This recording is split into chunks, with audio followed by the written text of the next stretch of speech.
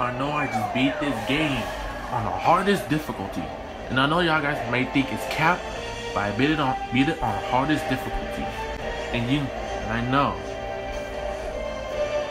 Yeah. I know y'all guys wanna play this game.